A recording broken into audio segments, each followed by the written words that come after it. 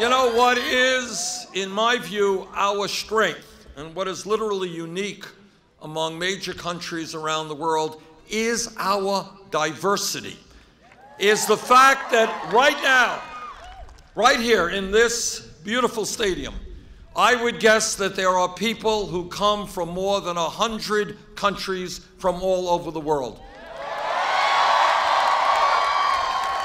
We come from Latin America, we come from Asia, we come from Africa, we come from Europe. We come from every part of the world. That is our strength.